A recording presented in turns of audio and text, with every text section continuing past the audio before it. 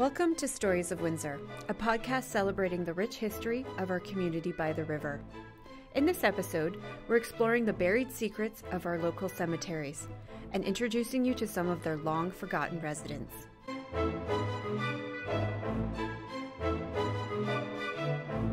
Welcome back, ladies. So, here we are for our second episode of Stories of Windsor. So excited to have us back together again. So, this time we are going to be talking about local cemeteries and their buried secrets, which mm. is somewhat appropriate for this time of year. For those that are new to the podcast, if we can go ahead and just reintroduce ourselves and just what cemeteries you're going to be discussing today. Hi, I'm Mary Lou Gillison. I am a local history and genealogy library located at the local history branch in Sandwich Town, and I will be discussing the St. John's Anglican Church and its cemeteries. Uh, I'm Carla Morano, and I'm a library service representative at WPL. And today I'm talking about two interesting and very historic uh, cemeteries Christ Church Cemetery and the Wyandot Indian Cemetery, both in Amherstburg. And I'm Erica McKenzie. I'm a public service librarian for the Windsor Public Library, and I will be starting us off with the Windsor Grove Cemetery. The reason I'm starting with Windsor Grove Cemetery is we actually did a little training tour during a staff training not too long ago where we participated in the McDougall Corridor walking tour, uh, information around Black history in the area. Fascinating tour that takes you through the McDougall Corridor, but it ended in the Windsor Grove Cemetery. And what struck me was the condition of the cemetery. And I was a little taken aback by that. There's some gravestones that are overturned, whether they are by hand or by nature can be up for debate because it looks like some are just overturned from time and decades and and the other thing that got me was I drove in there and like the road access you're you're literally driving over people's graves at one point which I know is hard to not do, but it's it made me feel a little bit icky. To give a little background, I studied British history in university and I did a, a, paper on Victorian death practices. When I was doing the research for that paper, there was two very distinct practices that emerged. There was honoring and offering tribute to the person in their death versus the long-term care and maintenance of the dead.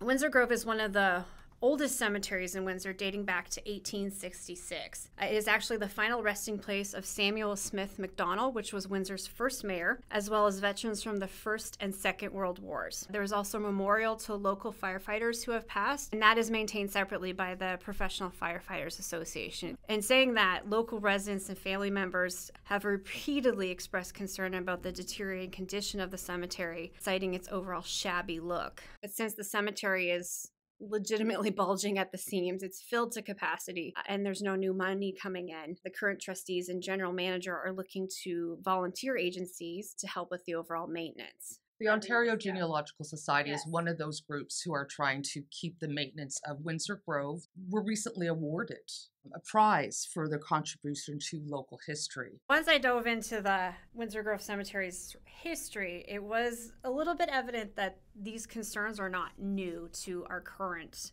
period. Notices regarding the outcomes of property disputes associated with the Windsor Grove Cemetery are mentioned in Windsor papers starting as early as 1898. There's been a long debate of ownership around Windsor Grove Cemetery, and their council has, in the past, been accused of not always aligning its values and intentions with the city or private holders. One particular article that popped out was on April 9th of 1930 from the Border City Star. An article highlighted the request of a local charity committee to the East Windsor Council asking that the Windsor Grove Cemetery offer cheaper plot prices for the graves of paupers. The charity had received a bill of $212.25 from the Janison Funeral Home for a quote undertaking expenses of an indigent. The council suggested that the charity get prices from Greenlawn Cemetery as they would charge less than half than Windsor Grove. It went further explained that even one of the council's aldermen commented that Windsor Grove Cemetery charged him $98 for digging up some vaults that had been misplaced by their own mistake. Fast forward to 1958 And this is when sort of a, a, big land dispute came into fruition was between residents and Windsor Grove Cemetery when up for debate was 28 acres of land was on the table to be used as new parkland. And authorities of the Windsor Grove Cemetery wanted to buy the land for its expansion, but sell back 12 to the city. So essentially they were going to buy 28 acres from the city and sell them back 12. The mayor at the time, Michael J. Patrick, there was a tie vote. He broke the tie on the issue, and all 28 acres ended up going to the addition of a Prince Road Park, which is now part of Micmac Park. Mary, you and I were talking earlier about could that have been because of a water issue? Well, that and a town does have, for example, if you look at the St. John's Anglican cemetery, the tombstones that have sunk into the ground are because of the water table issue. That's a big part of it, as well as time, history, care. There is definitely a geological reason behind it because mm. if you look at certain areas from the river, just by looking at it now, it's kind of wavy. Like it has, Windsor's notoriously flat, but it has like these little and that's what part of Windsor Grove looks like. Looks it's like, like, there's a wave in there. So yes. I'm like, that seems more natural than someone tipping over a tombstone. And that's exactly where people like OGS that I'd mentioned, yeah. they know how to find these things. If you look along the riverfront where Windsor Grove is as well, that is a very moist clay filled area. So, like, I would imagine between the geographic, like the clay and everything, plus you're adding new burial sites mm-hmm. each time, that's just going to cause a lot of disturbance and shifting. So, I don't think the maintenance people are not necessarily 100% to blame if there was any blame to be placed, but it looks like this now. What's it going to look like in another 200 years? And, and how do we protect the people that are in that cemetery, especially given that there's some very notable people there? But despite all of this, Windsor Grove cemetery was once considered a very angelic and tranquil place for people to visit, not just to, to pay respects to de- deceased loved ones, but people used to stroll through there, have little picnics. In August 17th, 1939, editorial, Thomas R. Brophy wrote of Windsor Grove, and I love this, this is very 1930s language. I remember what was considered a great pastime of a Sunday afternoon to go out to Windsor Grove Cemetery picking violets and myrtles. Many a beautiful ro- romance blossomed among the tombstones at Windsor Grove Cemetery in those days. And Windsor Grove actually also held annual ceremonies to remember those who died throughout the Great War, especially in World War One. And during the height of the Second uh, World War, those ceremonies also recognized those who had died in the war during the previous years. It wasn't immune to its antics, both seemingly innocent and destructive. In the spring of 1939, the trustees of Windsor Grove Cemetery put a notice in the paper offering a $50 reward for information leading to the party or parties responsible for the destruction of 15 monuments. The funniest one, though, that I found, and this is very appropriate for this time of year as we're coming into Halloween, was an article from 10 years later in September of 1949. And I will read the article title because it makes me laugh Graveyard Ghoul to Prowl No More. Windsor Frankenstein fined $15 for his antics. so, and there's, uh, I have the, the copy of the article in front of me, and there is a quite hilarious picture of, of a man wearing a full suit and tie and a Frankenstein mask, and the police officer standing next to him just half smirking, half looking completely exasperated. But the individual wanted to his face to remain anonymous, but his name was Donald. He was fined $15 for frightening a group of women who were walking through the Windsor Grove Cemetery one night. and as they described it, suddenly from the shadows of the graveyard came a hulking figure. Dim lights played on the ghastly countenance of the Frankenstein monster. From gaping mouth came the groans of a soul in mortal anguish. wow. Yes. Wow, Just Mary ter- Shelley couldn't have written it better. No. And then it goes on eight heels beat a resounding tattoo on the pavement as their owners fled. So I'm guessing eight heels means it was four women running from this Frankenstein monster. I think we each touched on some residents of each of our cemeteries of not necessarily famous people, but the stories that sort of stuck out for us. One is actually very heart sad but heartwarming and the other one is is a bit of a, a juicy murder. So Windsor Grove Cemetery was once considered Windsor's version of Potter's Field.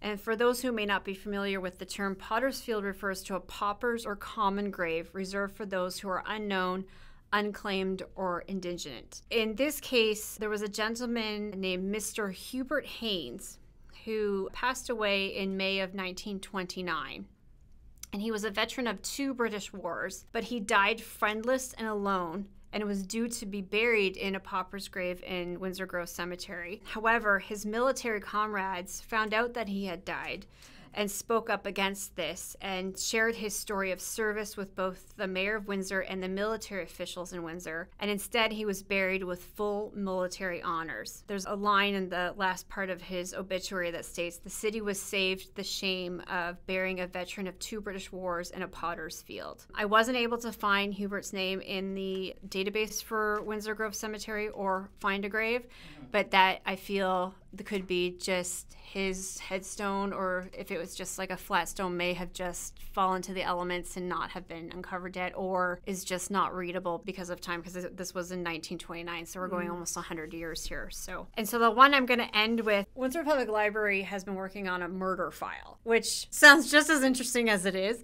It's not in human resources. No. It's a research tool. it's a research tool. So essentially staff have been working together collating articles from the local paper by decade of documentation of, of, murders that have happened in Windsor. I want to say I spent six hours in there one day because there's some good stuff in there. There's some very interesting stories, and, and this was definitely one that popped up. His name is William D. Allen.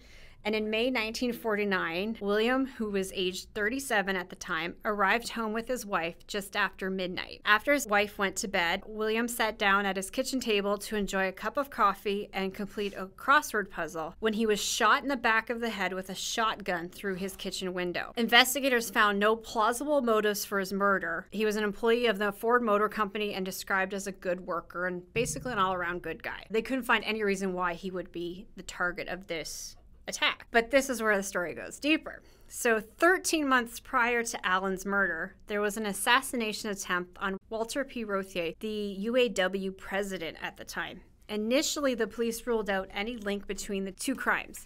That is until four days later, after Allen's murder, there was another assassination attempt set up similarly to the way Allen was killed on Walter's brother Victor, who was then also serving as the educational director of the UAW. So my thought was maybe there was a mistaken identity because they're pretty close together. Also, Victor and William Allen were exactly the same age. They're both 37 when Victor had his assassination attempt. Same thing, shotgun through the window and they missed. They got him in the arm. But Victor lived in Detroit, so did Walter, and Allen lived on Huron Line in Windsor. Both Victor and his brother Walter were very well known in the States. Victor was very big in like labor management and, and part of labor unions, and his brother Walter was a civil rights activist and Eleanor Roosevelt commented on their assassination attempts wow. because they were that higher up in wow. in the American government. And William Allen, everything was essentially the same between all three shootings, but William was the only one that died. And to this day, the murder remains unsolved, and nor have the Walter Victor shooters ever been found. And this was 1949 you can search the database and, and you can find out where William is buried in Windsor Grove Cemetery. Cemeteries are very interesting because they don't just reflect the people who died there, they reflect how the community treated those people. And I think particular cemetery I'm dealing with which was St. John's Anglican is very interesting because the development of the cemetery actually was around the development of Sandwich Town, which I find very interesting. You can't have one without the other. When I was looking into this, I thought, there's no way I can talk about this without talking about a lot of the famous historical things that happened to understand history, just don't think of death as something of the past, but if you visit the dead, when you see the, the tombstones and the burials, you see the script and the way they write things. It's, yeah, that's the big thing for me. I studied Tudor history and I got, which is almost unheard of, 10 minutes alone with Elizabeth I's tomb in Westminster Abbey. Because I got there super early. I went right to her her space because usually you're herded through there like cattle because it's so busy because everyone was in the other part of like following the actual tour and I just beeline. And there's something about being in that space knowing she's right there. And I had the same feeling when I went to see Churchill's grave. I'm like, this this is history yeah. and they're right there. There's just there's some sort of I don't know if intimacy is the right word, but it sort of brings things full circle. Somebody you wouldn't have access to necessarily in life, you can mm-hmm. actually go pay your respects to one on one in death. That's an interesting perspective. I Yeah. like I like that. You basically said everything that about that, so thank you because I don't think I would have summarized it as nicely.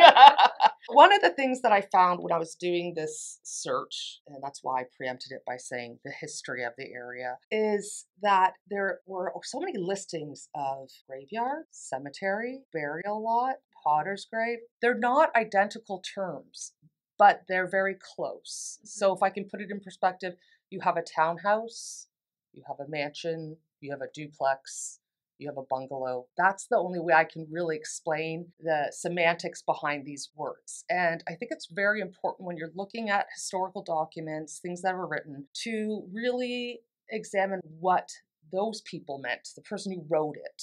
What were they inferring? What knowledge did they have? And I think when you see the development of St. John's Anglican Church, it is a complete reflection of the development of what we call Sandwich Town. So, uh, getting back to that, the earliest tombstone they have is from 1793, and her name was uh, Hembrow. But you can't find really anything about her. But her name was Margaret Hembrow, and they actually did not have an Anglican church officially until 1802, so 1802. What's interesting is there were two missionaries that came through. So we know about people people talk about the Jesuits and Assumption Church and Assumption Cemetery. This was somewhat of the Anglican version, but they had two pastors or reverends that had come down went through the making sure that the moral lives of the people who were here were okay, doing the conversion route. But one of them had asked, please, can we have some money to build a church? Well, in 1796, when the government had to send all of their offices from Detroit and move them over to Sandwich Town, that's when they started taking this seriously. And that is when Peter Russell, who is known for the Russell Papers, he's a huge part of Canadian history, was a big part of the government in the late 18th and early 19th century. He advocated for a church for probably six to eight months constantly asking what they call the Bishop of Quebec, that's what they call the head of the church under the Anglican umbrella, or they did at the time. And finally, the bishop conceded and said, okay, fine, we're going to give you 200 pounds because we do have this $2,000 grant to build churches. There's lots of people moving there. If you read it, it you can hear the huff in his voice, like, fine, we'll give you your $200, okay? Because the people in, in Michigan in 1796, the Loyalists, they came to our area. So you went from like a French Canadian population, which Assumption served, to a more English speaking and Scottish population, which they did not have a structured settlement or religious settlement. So eventually, we were talking about Boblo last time, the government said, you guys figure out what you want to do with this place in three years, or we're sending all the offices to Bois Blanc or Boblo Island. So you either get your stuff together or we're out of here. So uh, when I talk about the church being part of the creation of the cemetery and the areas around it, they go hand in hand, just like politics. There was not a religious person or a reverend or a deacon. A lot of times, local government officials, because they were considered representatives of the monarchy, and the monarchy was held very high esteem, almost almost to like a religious belief. So you had people who were judges or sheriffs, people who were uh, local lawyers, and they would do readings on Sundays for people to come in and sit. And they know that they had a small log building that was built for this purpose of being a civic center. A place for the sheriff to work, sometimes used government purposes. Um, that would have been where the local jail that was shut down it would have been in that kind of vicinity. Now, please remember, we're not looking at straight roads. When I'm using language like Russell and Brock, because I, I, have to mention these streets, we're looking at pathways. We're not looking at wide concrete streets. We're talking about something, if a car- carriage could go down there, that was awesome. So eventually, this gentleman, Pollard, he so desperately wanted to have that church established that because he was a person of good reputation and he was good to the community, he went up to Quebec, he got ordained and came back and he ran out of this small building church services. And they even have like budgets of people like rental agreements because people actually had to rent a pew. And this is where, once again, you get into the politics of the time, the development of the cemetery, the development of the church, because the people who rented the pews or paid fees well you've got the babbies you've got the princes you've got you know, the mckees they're obviously they're essential to windsor and essex history and when you're looking at their income because they have income receipts and you just see rented and it's three pews those people if they didn't show up for church that Sunday, nobody else sat there. That was their reserved seating. So when you uh, look at what happened with Sandwich in 1796, and like it became kind of known as like a rendezvous point for the loyalists and for people who are coming over, and that's how Pollard was easily able to negotiate with the bishop of Quebec that's you know said look there's nobody down here and there's people they want this. So basically he went up there he got ordained because there was a need for Anglican priests and and reverends and deacons. And the interesting thing is is that where Miss Hembro, the 1793 grave is, it was basically in the area of what was a potter's field. And so it was a part of the east part of the acreage because when the church established it, they got two acres of land. So just think of that going down to the river all the way up to Peter Street, over past Mill, and towards Brock Street. So just think of that entire encompassing area as being to the church church land. They did not have a specific consecrated land until they built the church in 1802, which was the creation of their diocese. But in 1802, this is how quickly this happened. The first baptism was the baptism of a child from May 24th, 1802. It was also the first burial under the Anglican Church through Pollard because the child died uh, the next day. So when you talk about history and you talk about these things, the cemetery had to be consecrated. This land had to be consecrated. It had to be on holy ground. So they had to have an established church there. It goes hmm. from being a burial ground to, to a cemetery. cemetery. Yeah. Exactly. And, you know, there's a lot of interesting things about the church, but when you look at the paperwork, I mean, there are references for renting pews, costs for weddings. I found really interesting was when you were looking at all these documents, you had something called a ban, which was announcing an intention to marry. And legally, if they did it three times prior to what they considered would be the day of marriage, it was considered a legal marriage.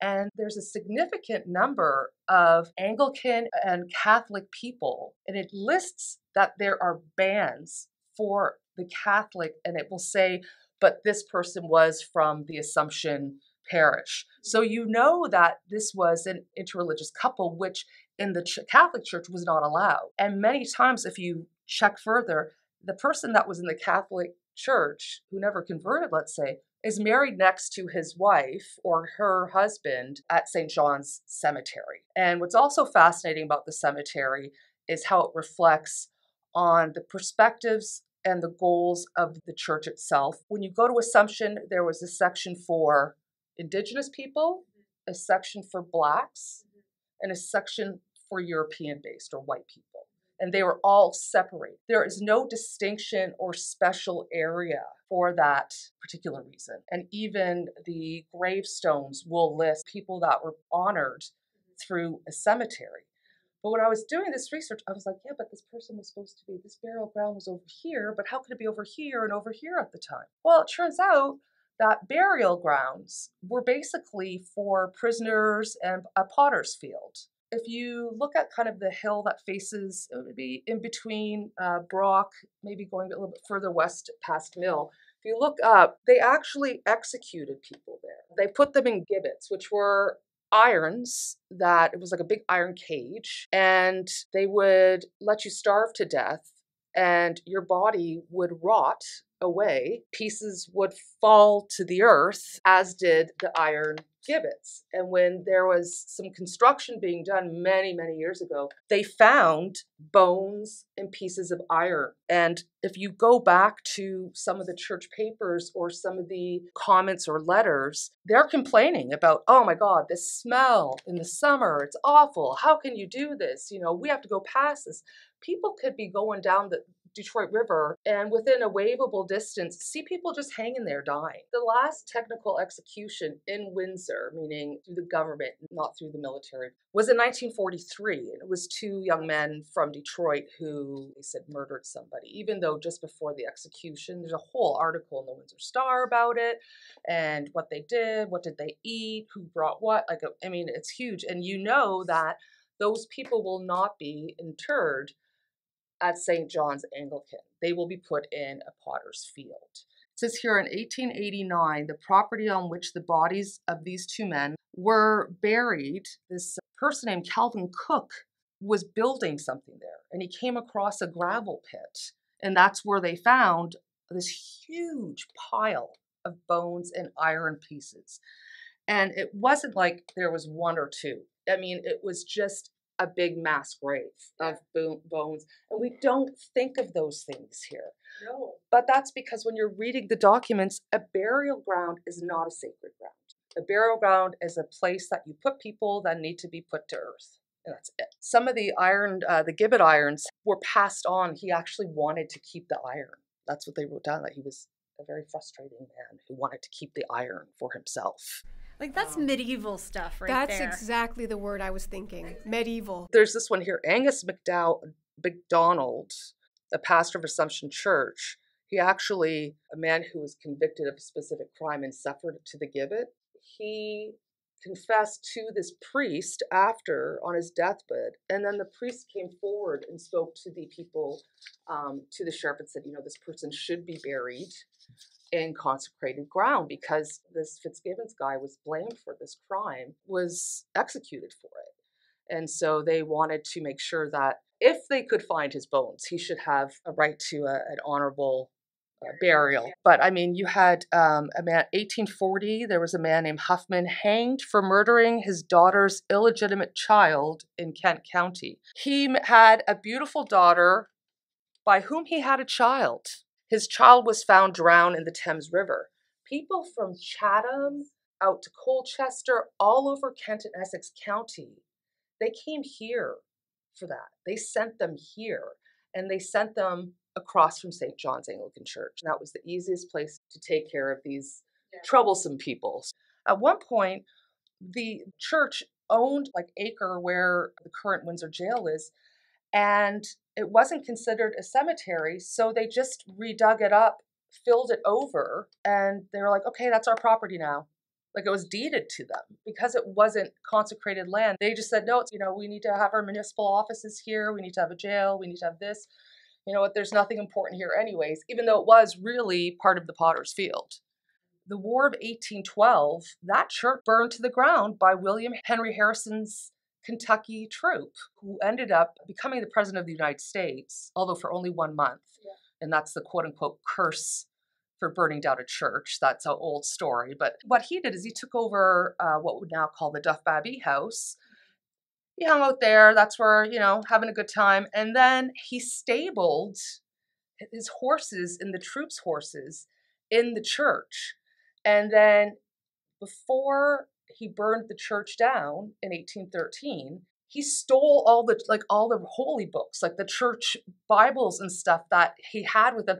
They ran off and took the books from the church before they burned it all down where there was a small cabin or, or building across from where the church is now. They eventually made that into the 40, uh, fortified brick barracks in 1814 and now there is where I get to work at Brock School uh, or that location is originally one of the barrack sites. But all of that was owned by the church.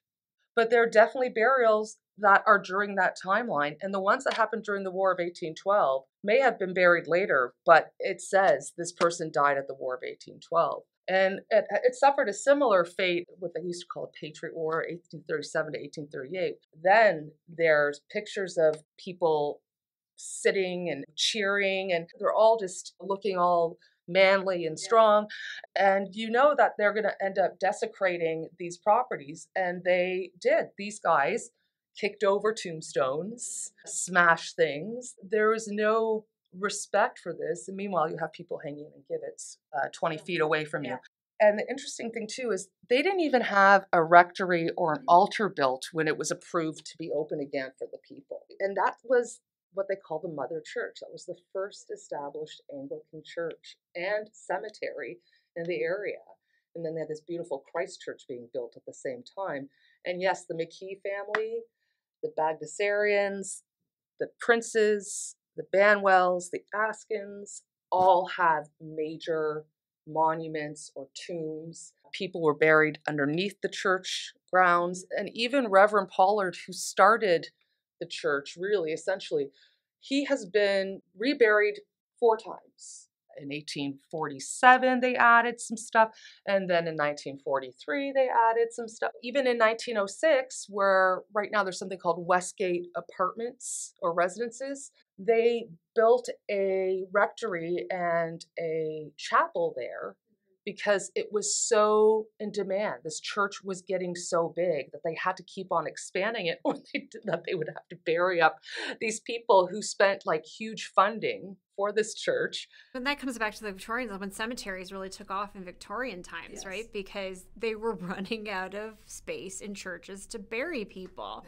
And the cremation and like non-sacred ground cemeteries became the new rage because where are we putting everybody? We're literally stacking them five deep in some mm-hmm. churchyards throughout England and parts of Europe. So things had to be done. So it makes sense that there was all these demands for churches because you wanted to be buried in sacred ground. But at mm-hmm. some point, the bubble burst, and we have Windsor Grove Cemetery opening in 1868 mm-hmm. when the modern day cemetery was born. Interestingly enough, another part of the cemetery history is during the Spanish flu, they actually buried people who had the Spanish flu in one section because they were afraid that the corpses would infect you because yeah. they would bury them all in one spot. Now, we, I'm ending this with the development of Christ Church, which was an expansion from the same family that helped with the development of St. John's. So I'm going to lend that topic over to you. All right. So when preparing for this conversation, I decided to interpret the phrase in our title, Buried Stories, as stories that most people probably aren't aware of.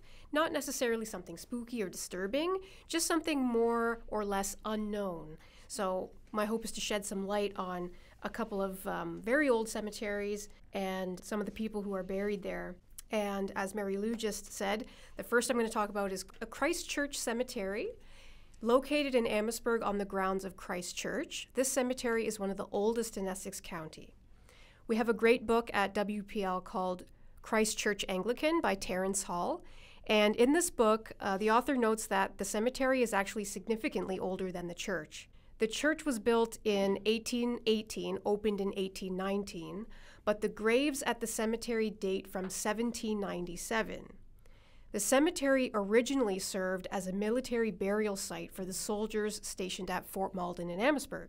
Most of these soldiers were of British origin, and so they practiced the Anglican faith. Mary Lou, you mentioned the date 1802 for the first St. John's Church.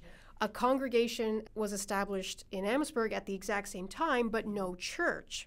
So church services were held right on the fort grounds in a little log cabin before Christ Church was actually built. But the soldiers and all other town people were buried in a large non denominational burial ground, using that term again, on the west side of what is now Bathurst Street, which had been there since the 1790s. Okay, so it's a very old burial ground. There's another great resource we have available at WPL called Amherstburg 1796 to 1996, a town on garrison grounds. And there's a chapter in there that discusses all the town's burial grounds. The author notes that when the church was built in 1818, a piece of the graveyard was given over to the Anglican congregation. At the time, they called it the English graveyard. So they didn't even call it cemetery yet. It was called the English graveyard, and that's what it was referred to as on maps. According to local folklore, the soldiers were buried at the north end of the graveyard, which now overlooks Gore Street. In the 1880s, the church built a parish hall and later a rectory on this particular section of the property. And so I wonder if the soldiers who were buried there were ever exhumed or moved.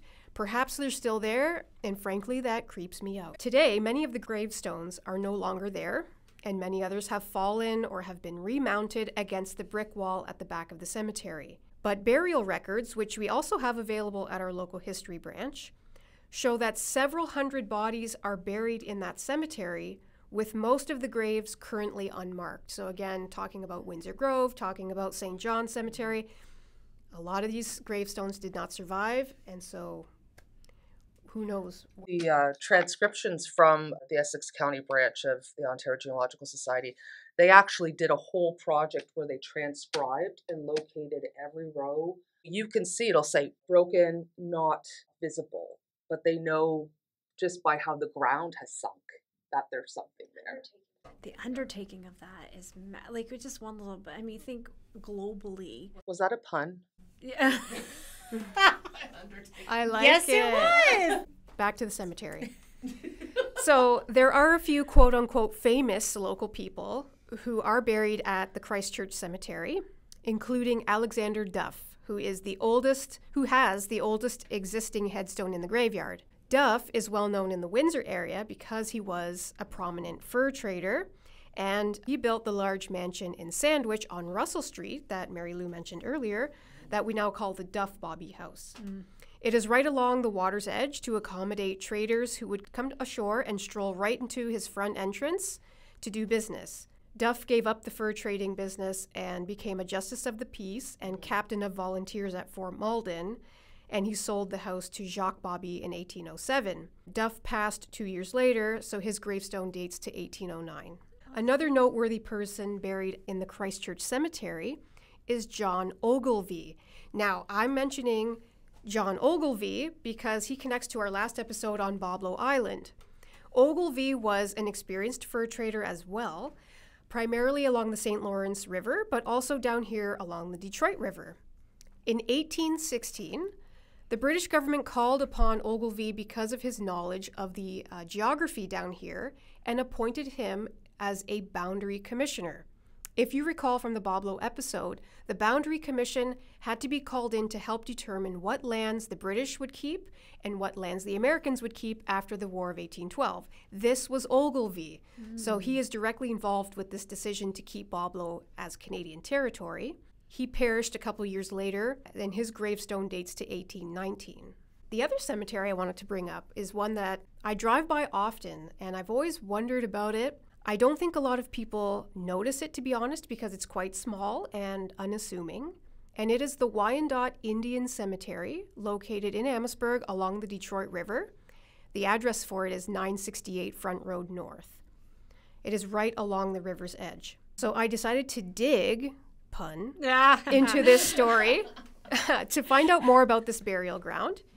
And I discovered that it was part of a much larger Wyandot Reserve dating all the way back to the late 18th century. In 1790, as part of the McKee Treaty, the Wyandot, or Hurons as they were also called, were granted reservation lands in two areas the Huron Church Reserve, which is in present day Windsor, and the Wyandot Reserve in what was then known as Anderdon Township. This land is now within the borders of the town of Amherstburg. The reservation fell between the Detroit River and River Canard, taking advantage of all this fresh water and all this fertile land. Before the Wyandot people in this area converted to Catholicism, they buried their dead according to their own traditional customs. And so, unfortunately, we have no idea where mm-hmm. some of the earlier Wyandots would have been buried.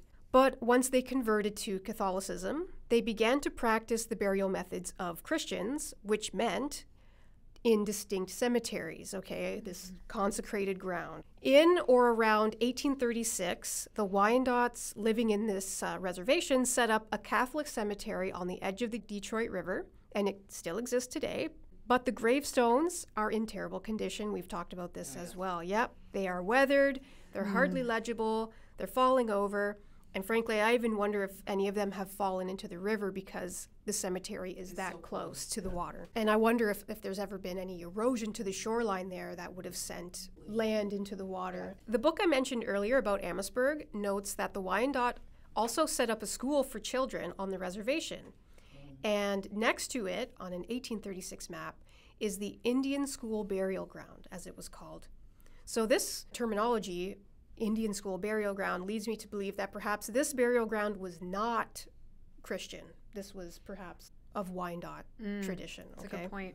This uh, Indian School Burial Ground, at the time of the writing of this book, there were only two headstones remaining in that cemetery. This burial ground is not on the same property as the Wyandotte Indian Cemetery. It's east of the Detroit River, kind of further into the farmland.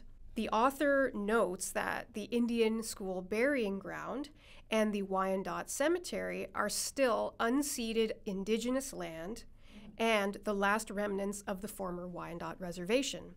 Now, I don't know exactly where the Indian School Burial Ground is. The map shows it, as I said, uh, on a property east of the Detroit River down Middleside Road, what is now Middleside Road. There's a lot of new housing development in this area, and I'm not sure if the gravestones are still there or if anyone has access to this property. But the Wyandotte Indian Cemetery is definitely accessible to the public and is directly next door to a public park. I'll talk a little bit about a couple people who are buried here. Uh, just to say their names again, because I'm sure their names have not been said for some time now. The first documented burial at the Wyandotte Indian Cemetery is of Margaret Dayan Tett, age 90. That is quite an age considering she was buried there in 1858. Oh, go Pardon Margaret. me, 1856. The largest gravestone in the cemetery dates to 1885, and it belongs, unsurprisingly, to the last chief of this band of Wyandotte, Joseph White. Margaret Dayantet, the, the woman I just mentioned, was his mother. And Joseph, uh, Chief Joseph White, was the father of a former Windsor mayor, Solomon White. According to an article in the Amherstburg Echo in 1875, control of the Wyandotte Cemetery was granted to a group of trustees, which included White's sons, Solomon and Thomas. And it seems by the late 1800s, the Wyandotte people living on this reservation had become more and more assimilated into both Anglo and French Canadian cultures that dominated that area. So, in the end, they decided to exchange their reserve lands for Canadian citizenship, except for the cemetery, which is still Indigenous territory. I decided to look up the Wyandotte Cemetery in our Windsor Star database to see if there was anything interesting news wise about the site over the years. And apparently, uh, in the 80s, there was quite a lot of interest in the cemetery and the land right next to it. One article even said that the area had become an eyesore and that residents proposed that the town make the lands next to the cemetery a memorial park. Eventually, that did happen, and um, now the cemetery is attached to Angstrom Park. So that's the current status of the Wyandotte Indian Cemetery. So basically, it's a public park next to uh, a burial. Yes, it's a very tiny park. There's like a pi- one picnic table and no parking. I, nobody ever goes to it except sometimes you see a kid with a fishing pole in the water there. That's about it. Were there any particular books that you found were helpful? I took a deep dive into uh, our newspaper database for Windsor Star. Yeah. I mean, it dates back to the late 1800s. So I spent hours in it. Um, I used some older documents. I actually used a, a book from 1909 called The Township of Sandwich Past to Present by Frederick Neal, who is buried in there. But I also used a, a book called St. John's Church Sandwich, Windsor, Ontario, for 1802 to 1952. Thinking about some of the things we've talked about, Erica, you mentioned earlier folks were using Windsor Grove almost like a park. Yeah. Okay. And it's full. There's no new money coming in. Same with the Wyandotte Cemetery.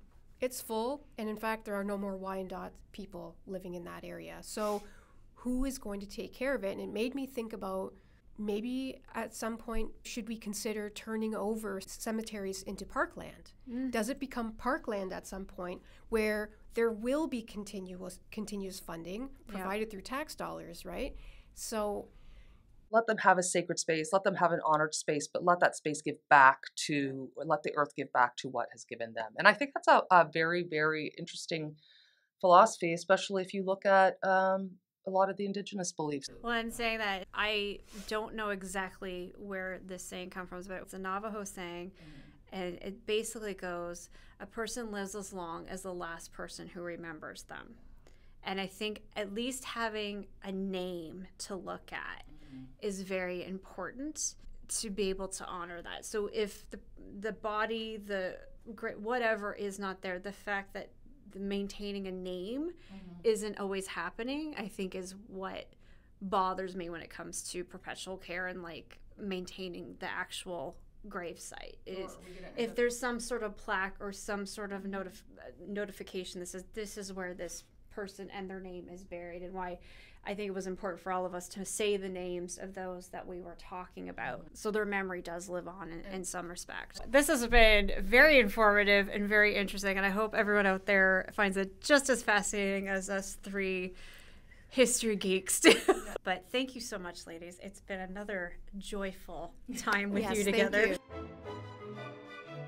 Stay tuned for our next episode when we will ring in the holiday season by exploring the retail experience of Windsor's past and how the opening of Devonshire Mall changed the way Windsorites shopped. Thank you for listening. This has been a Windsor Public Library digital branch production.